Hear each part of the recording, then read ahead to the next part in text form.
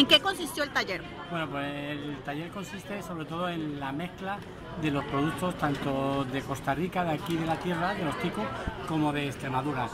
Sobre todo la región extremeña, donde tenemos una rica gastronomía, tanto sus alimentos, sus denominaciones de origen, eh, por todo tipo de variedad de, de alimentos. El taller era una mezcla, una fusión, por decirlo así, entre la comida de aquí, de Costa Rica, con la comida extremeña. ¿Cómo podemos definir la gastronomía de Extremadura? Pues, sinceramente, excelente.